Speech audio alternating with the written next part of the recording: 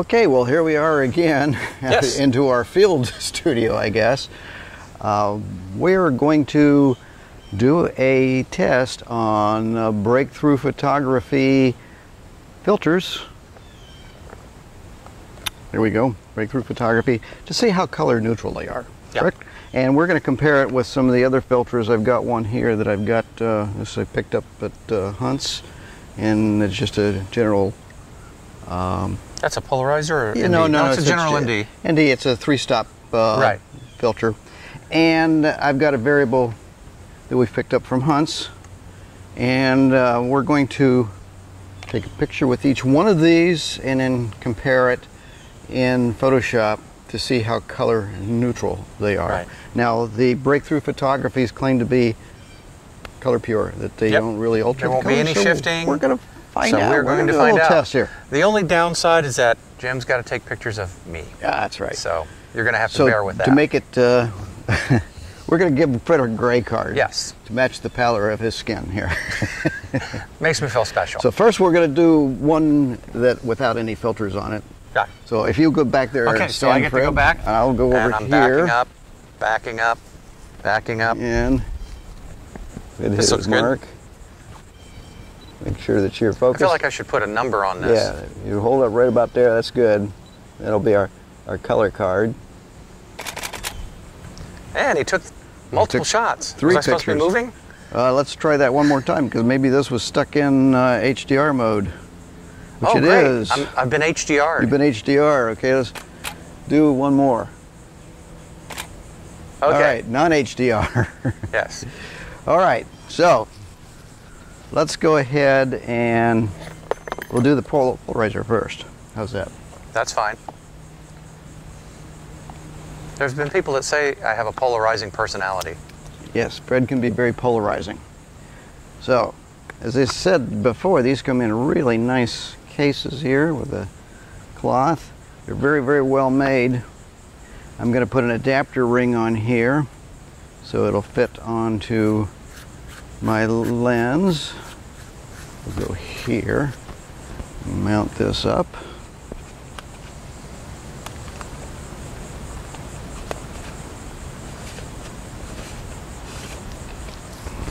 Okay, and then I'm going to give Fred the box that we. You can have the. No, you we Oh, need the oh, we, we need the great card. still, Yeah, we right. need the gray card. What am I doing? You're am I hold both of those I'm being the talent. I'm not thinking. You're being the talent. Hold the edge up, right? Because that You want the edge out? This one? that's it. Oh well. And why didn't you- you tell me you wanted the name? And you got the wrong side of the gray oh card. hey, let's do the white side. I wanted you to be able. Can you read this? If you can, your eyes are great. Okay, and I'm gonna check the polarization. to wonderful see eyesight. Okay, so this is the polarizer. Okay, that's the polarizer. That's a polarizer. All right. Take the polarizer. Is that how I make polar pops What's that? with polarizers? What about them? How do they make polar pops? Polar pop? That's a burning question. I don't know. Actually, it's a frozen question. You're confusing me. That's easy to do. Poor Jim's trying to concentrate, and I'm back here wreaking havoc. Re- yeah, Fred's good at wreaking havoc. okay, next one is this is a six-stop polarizer.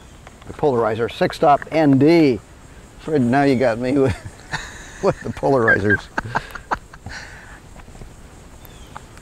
My work is almost done. Our Okay. director's shaking her head, saying, No, it's never done, Fred. You're done, but your work's never done. Oh well. Okay. This is six whole stops, so Yeah, we're going to see you how may have to hold very still on this one. Don't want me to blur. Do you want me to hold the box? Okay. yeah, half a second, Fred. And half a second? Can you hold still for half a second? I can hold still for half a But I don't want to change the. Uh,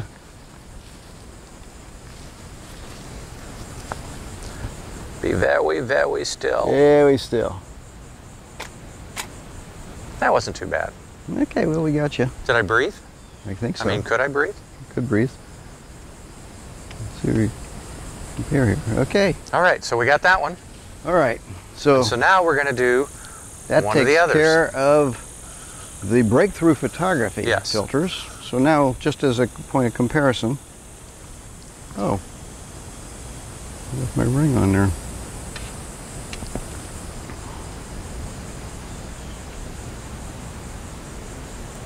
It left the adapter on, didn't it? Or did it? Or did it? Maybe it's here. Well, I don't. It's a need it. mystery. Oh no, it's here.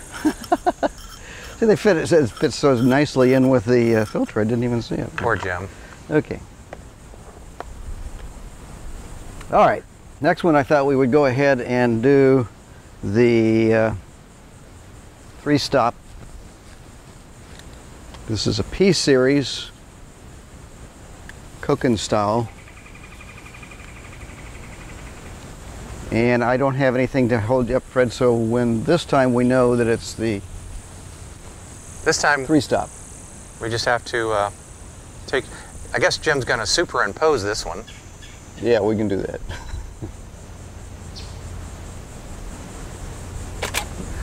Poor Jim. As he gets older, it's harder for him to multitask. All He's right, gone to more. single tasking, and some days he he can only do half of that. So some days he's half tasked. Well, yeah, this could be dangerous, so do not try this at home.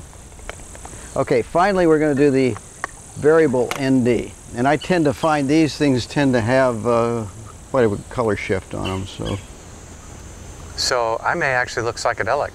you might. Well, let's see. Just going to hold that one up there then. All right. And if you're old enough to know what psychedelic means, Oh, let's have you. So we know which one this is, Fred. Let's have you hold that up. That way, we, that was the well, that container. tells everything. That that was a container. At least That we'll tells know it which all. one it is. Yeah. Okay. That was now what mostly we're going to do is we're going to go bring these into Photoshop and we're going to check them out and see how color neutral that gray card is. Okay, well we've taken the images that we photographed outside, Yes.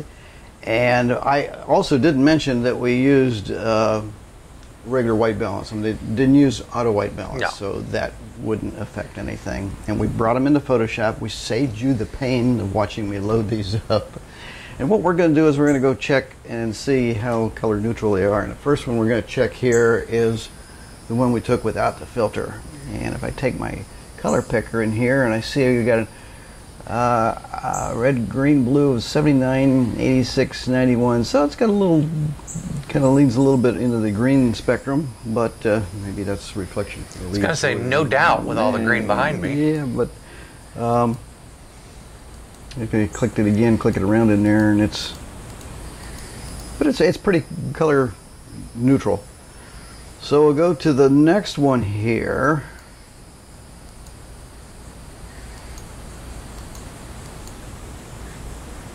We've got to close that out. Here we go. All right, we'll go to the next one here. This is the one with the polarizer. right. Yeah, we click on that again here and see what we got. Well, son of a gun. It looks like it may have picked a little tiny bit up on the green spectrum, but other than that, it it really is pretty color neutral. I'd say it hasn't shifted at all, and even the image looks uh, And interestingly enough, pretty much the same. it's not much different than the one without the filter at all, Yep, as far as picking up just a tiny bit of the green, right? yep. All right, let's go on to the next one here, which this is the That's a polarizer. This is the one that I think it took a half a second. Yeah. So no, this is the uh, ND. oh, that is the ND with yeah. this how many is stops the is that? Six stops. Six stops. stops. Now they have them, I think, three, six, and ten stops. So it's a little darker six. looking, So let's check. but there's that. no blur. I didn't move. That's a good thing. Well, it's pretty color neutral. Uh, what I'm seeing, of course, everything's a little darker. So, but uh, again, actually, this seems a little bit, a little bit more maybe on the blue side, just a tiny bit. But boy, it's so insignificant that. Um, Okay. So those are the two breakthrough filter photographies, and I would have to say, from what I'm seeing here, see if Looks you agree with me. pretty close, again, the only caveats we'll say is that the first one was a tiny bit on the green side, and this one seems to be leaning just a tiny. We're talking tiny, tiny Oh bit yeah, it's to it- the blue side. very, very, very and that's subtle. really it would be pixel peepers that would be going. See, see, Oh, look at yeah. that! Oh my gosh! Yep. But as far as color neutrality, now let's go cut check a couple. Yeah, let's check. We're going to do the first one here is the um, uh, the Cokin type All right, filter, the Cokin filter. and let's see what it gives us. Well, actually, it looks like it's it looks like it's dropped a little bit of the red. Yeah, the red has dropped a bit. but The other two are pretty close. I got So 80 and 84 we did have the biggest there. thing on that is a noticeable drop in the red. Uh, just a little bit drop in the red, but not too bad. Uh, just a little bit. So the Cokin did pretty well. Yeah, so the, that the Cokin filter, did- but it, there was a, a drop more so than we got from the. Um, All right, would you- and this was a three-stop filter. and of course, and when you measure that, you would say how much? oh, just a little bit in the red. It looked like it dropped maybe ten on the uh, the red channel. Okay. So finally, and I tend to find that these variable ND filters do tend to have a. Uh, and that one, just looking at it, it oh, looks just like look at it. It looks like it almost has a strong green cast strong green cast. And absolutely it does. The green is way up off the spectrum. I look a little green around the gills. oh, yes, that one definitely has a, uh, leaning to the green. And I only put So- this up there maybe about halfway. I mean, as we would crank that variable ND up even higher. Right. So the problem with this is you says, well, we could go ahead and correct that in uh, Photoshop, but not necessarily because it may not be even against all of the channels in it. It's still It becomes a it's kind of challenge, and you're spending a lot of time in yeah. post production with it. So it, it may Yeah. look if you've got a variable ND filter and you're happy with it, great. The, what we're looking at here is are there contrasts, are there similarities? In this case, we see a marked difference in the variable ND over anything else that And- we've tested today. This last one, it is interesting now. The red and blue channel are almost identical. They're very, very close, within one or two of each other. And what we're using But on this one? the green is over 10 up on the Right. green channel. Oh, you're still looking at the variable ND. I'm looking at the variable ND. Yeah. So, So, yeah, I'm. Uh, so there are some differences. They're subtle, uh, but it makes the biggest point we're trying to make here, folks, is that if you've got to go in in post production, it can be difficult to try to correct for those color shifts.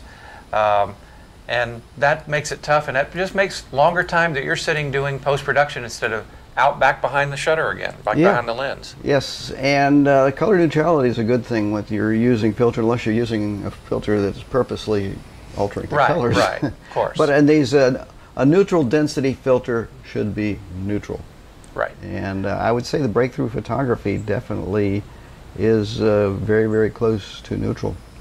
So I guess we give a, a thumbs there you up have it. to the breakthrough photography. We'll put their link up here, and um, you can go out and check out their filters. And we'll go back to the studio now, right? That's right. Okay.